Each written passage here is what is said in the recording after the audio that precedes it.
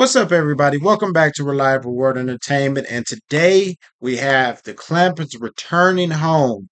So I'm pretty sure you'll enjoy this because we know it's about to get wild and crazy with the Clampetts. So check it out.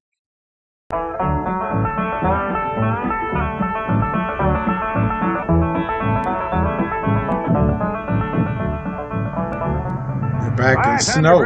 Granny, the old place ain't changed a bit. Pretty as ever. Prettier with the snow.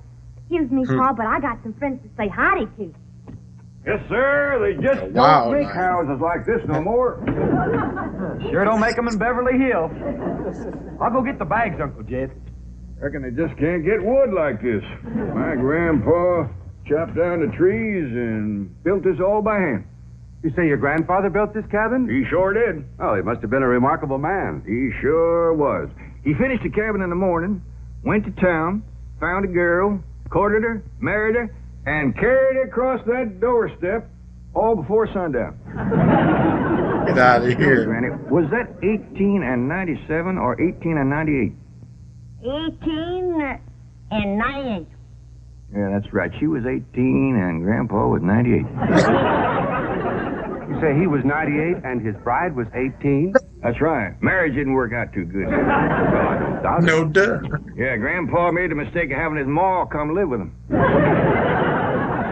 Awful bossy old woman. Wouldn't let that little bride do nothing. Did everything herself. Your uh, family has remarkable longevity. No. Yeah, they, they, they stretch the truth a little, too. She didn't know what he said. Longevity. She's like, Lord. Grandpa was the day over 90 when he married that girl. And his ma didn't bust up the marriage. That poor little bride just wore out, having so many young'uns to take care of. Oh, uh, what uh, what happened to Ellie Mae? Well, she just went to say howdy to some of her friends.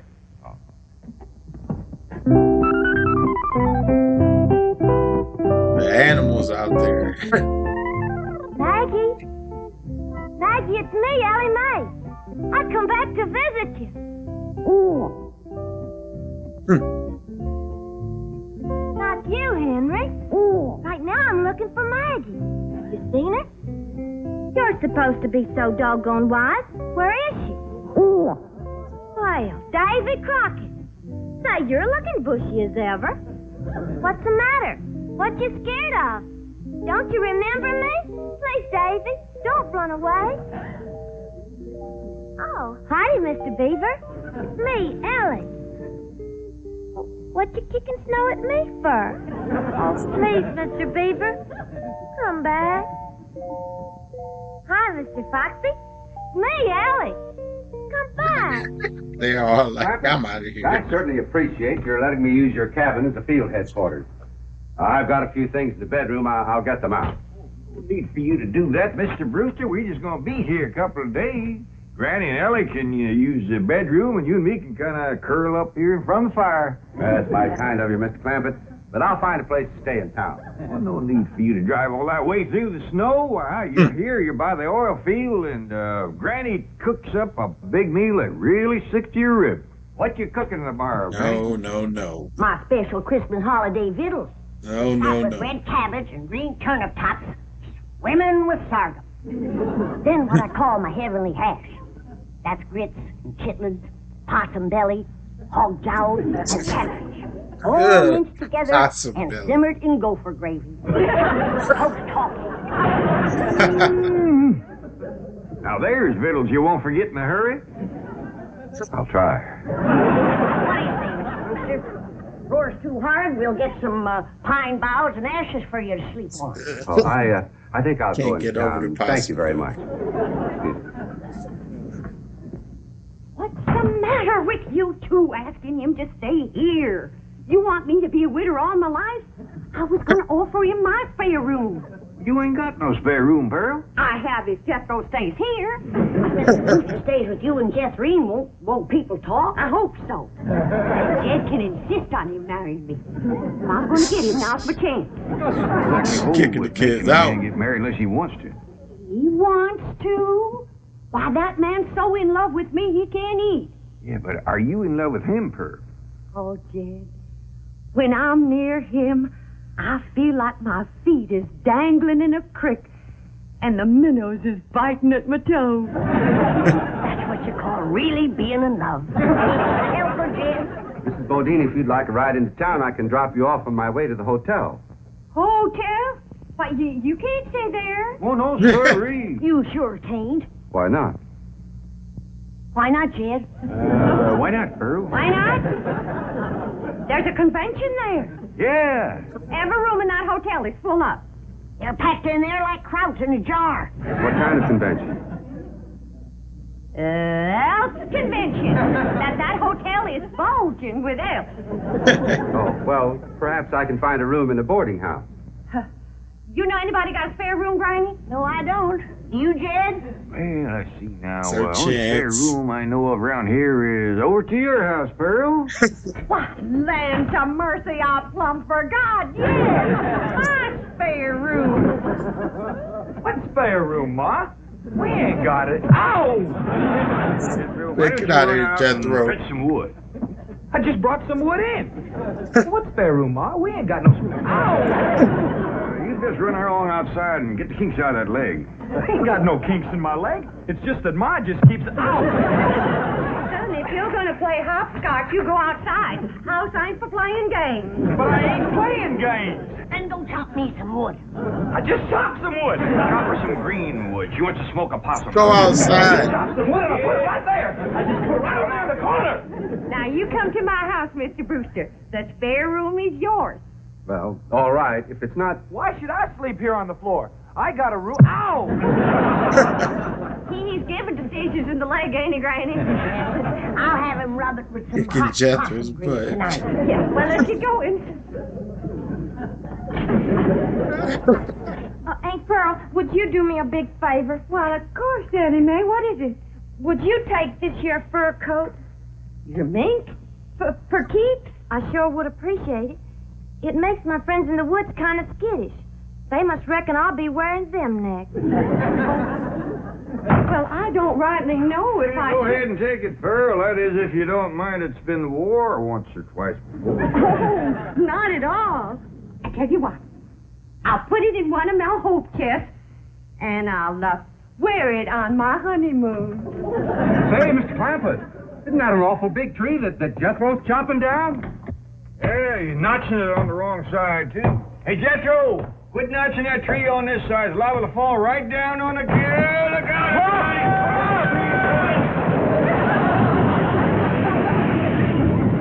Only Jethro. It missed us. Well, the tree missed. We can get up now. Well, he, he might be chopping another one. Let's wait and see. Look at her. Maggie?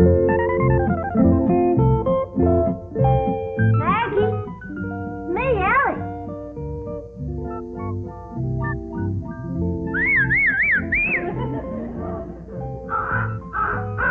Freddie, you old rascal. I know you've seen Maggie. You'll go and get her for me. I'll give you something shiny. What would you like? How about this? Okay? There. Go find Maggie. Nellie. Hi there, Nellie. Me, Skunk? Nellie. The good thing you didn't see me in that mink coat. You might have got riled at me. One friend I don't want riled, it's you. Maggie, I knew Freddie would find you. Maggie, I'm so happy to see you. I told you I'd come and visit you, and here I am. Ellie? Ellie Mae, where are you? Over here, Pa. Now, don't you be scared of Pa. He won't hurt you none. Oh, now, who's this? This here's my old friend Maggie. You remember her? Sure I do. Howdy, Maggie. Say, Ellie, we's all going over to Aunt Pearl's for supper. And after supper, we's all going over to that movie picture theater where Pearl works. Well, I'd he'd rather stay here. Well, Pearl says there's going to be a brand new picture from Hollywood called uh, Ben Hur. Who's in it? According to Pearl, it's got the two biggest actors there is Francis X. Bushman and Raymond Novarro. ought to stay here. Now, we's all supposed to kind of surround Mr. Brewster and brag on Pearl's piano playing during the picture. Well, Jethro can brag extra for me. Jethro ain't going to be there. He just sat there all night and complained about Mr. Brewster having his room. Oh, come on, Ellie. Don't you want to help Pearl get a husband? Okay, Pa. Bye, Maggie.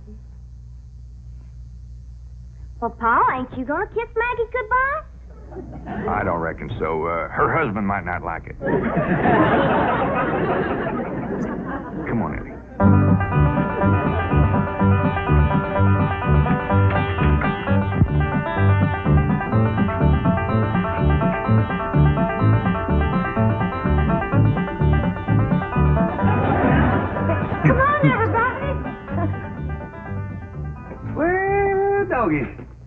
Jethrine, here's a picture of your mom.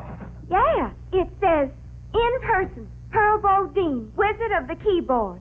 Oh, that means Piany. Hey, your name is as big as Ben Hur's.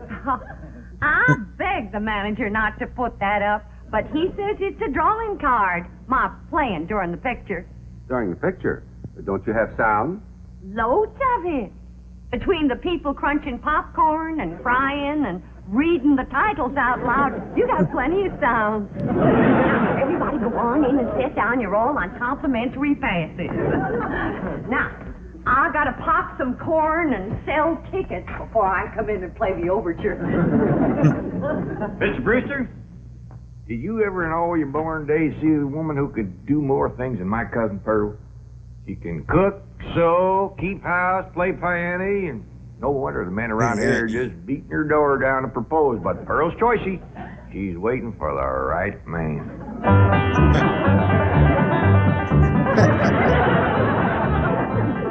Here's something, Pearl.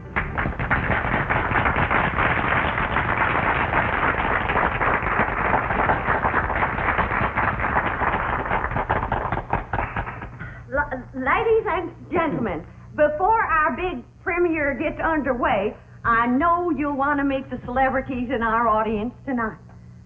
Now, a sitting right here in the front row from Tulsa, Oklahoma, is the field manager of the OK Oil Company, bought my cousin Ted Swamp, Mr. John Brewster. Mr. Brewster. Ooh, that tomato. Try. What's that about? Homer Winch, get up there and you clean off that screen right now. Oh, it's the guy. Ain't you ashamed? Yeah, Pearl, but I couldn't help myself. I'm just eat up with jealousy. In red. Well, I see it too, so clean off the movie screen. Ben Hur'll look like he's bleeding before the chariot race ever starts. Exciting when you're mad, Pearl. Get up there, you coot. That take his woman. And and now, folks, you're gonna meet a real live millionaire and his family all the way from Beverly Hills, California. Your friends and my kinfolk, the Clampetts. Jed, Granny, Ellie Mae.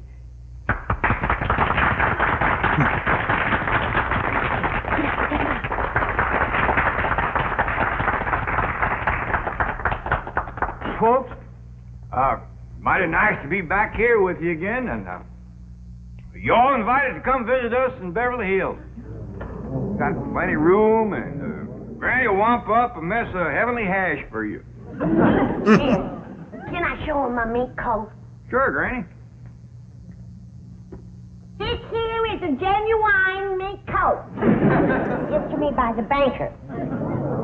Nobody gets the wrong idea. There ain't no strings attached. I'm still the same sweet girl I was when I left here.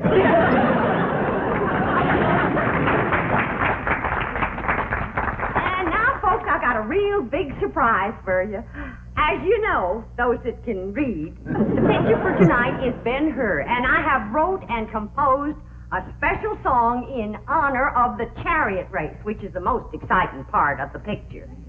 And this here special song is going to be sung by my daughter, Jethrine. Say goodbye, Jethrine. Here come Big Jethrine.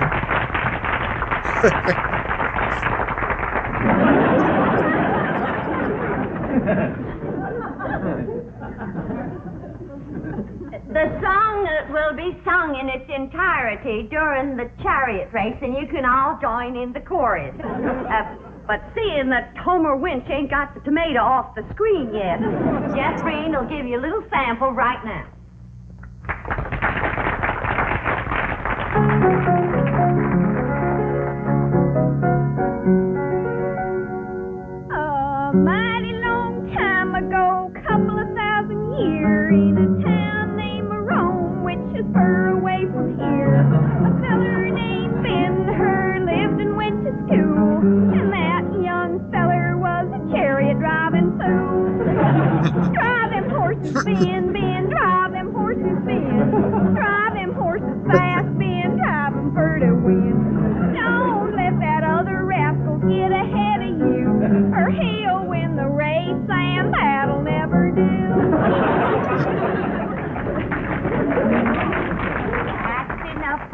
Jeffrey.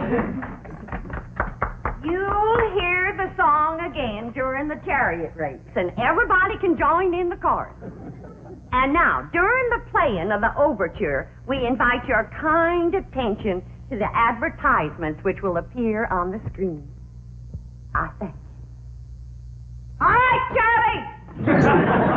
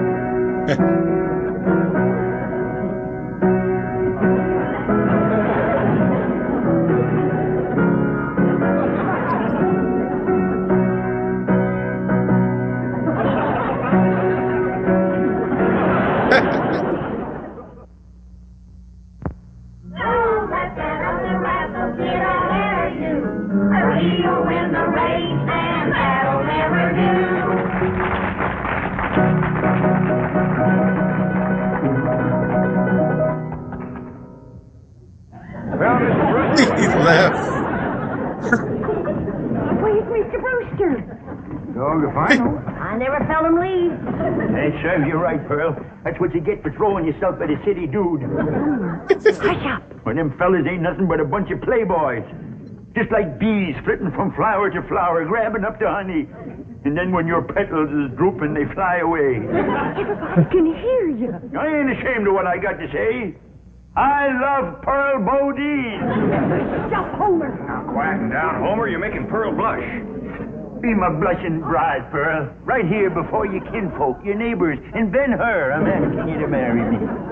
Get up off your knees. You're making a spectacle of yourself. I, I, I caught him, Ma.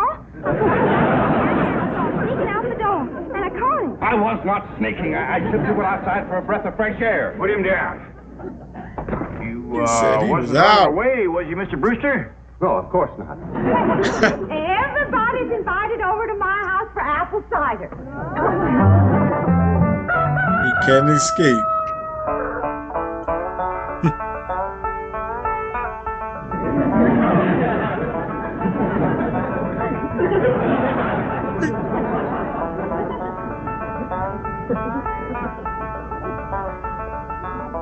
Ed, wake up.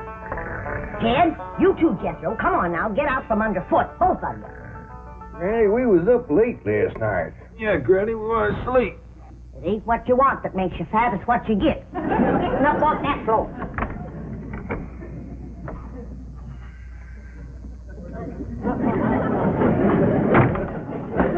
Hey! Oh, that was cold. Yeah, that's cold. Now, when I say get, you get. Floor is cold and hard. Ah, you're getting soft from city life. Now get dressed, get washed, and get packed. You heard what I said. I ain't gonna spend another night in this place. Not with that wild daughter of yourn. I didn't sleep a wink. Appears to me like you're getting a mite soft from city living, too. Time was when you never minded sharing a bed with Ellie Mae. I still don't mind sharing a bed with Ellie Mae. But I draw the line when it comes to sharing with them others. What others? Well, There was an owl and a squirrel, a crow and a fox, a possum and a skunk and a porcupine. Well, I'll go in and speak to Ellie Mae. I wouldn't go in there if I were you unless you want them flannels took right off you. What are you talking about? You know where my mink coat is right now? Where? In the top of a tree, full of baby eagles. Their mama and me fought for nigh on to ten minutes for that coat. But with them claws on her, she could get a better purchase on it. Took it right out the window. You been at your rheumatism medicine. I ain't about to swallow no story about a Uncle Sam, Granny, a great big old eagle just snatched the hat right off my head. See what I told you? When a mama eagle wants to keep her babies warm, she'll grab anything. Somebody better help Ellie Mae hang on to her blankets, because that rascal just flew in her window. Frida, you hadn't ought to took Jethro's hat. Never mind about Jethro's hat. Ask her to bring back Granny's mink coat. Only if she wants to, of course. Frida, you bring back Granny's mink coat. And if she's took any suitcases, see if you can get them back too. We's packing up. Sit down. Oh, excuse me.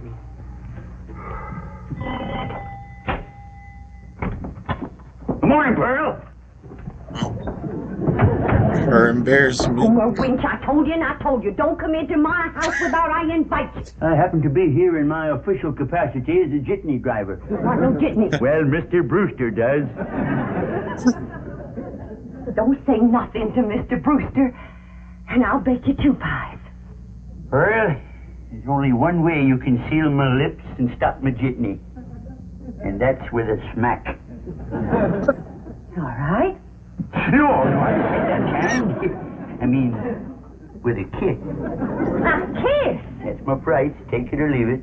Homer! Why, that's the most shocking, disgusting,